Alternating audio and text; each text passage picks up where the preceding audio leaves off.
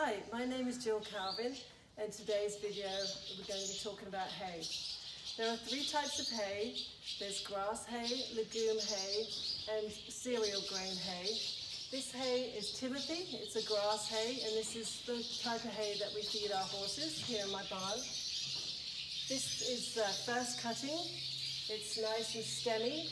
As you can see, it's got nice long stems. You'll sometimes find find the seed pod heads like this one because as, and that's the only time you'll find them is in first cutting hay. Second cutting hay is shorter, usually about that much, and then the third cutting is usually even shorter like that. It's, uh, they still have good nutrition, but the third cutting is more hard to handle because when you pull out a flake of first or second cutting, it stays together.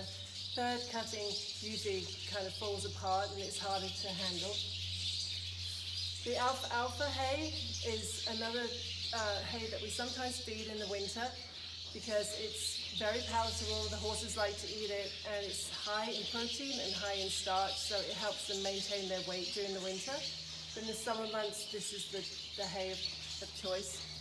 Now sometimes you'll see the bales are white on the edges, and that's okay. It's just due to the sun bleaching them when they're stacked in the fields waiting to be transported.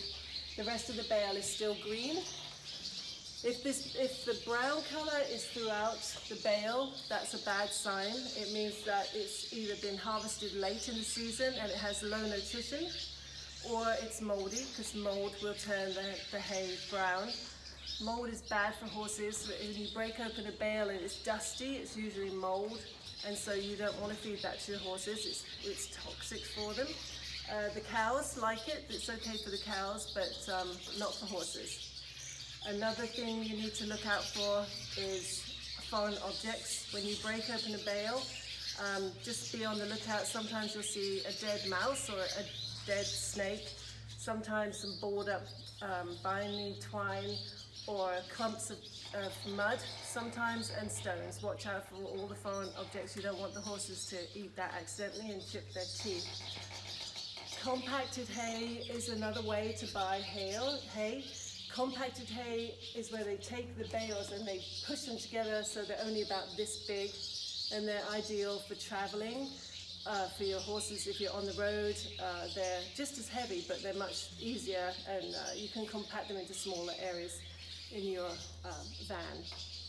And that's a description of Timothy Hay.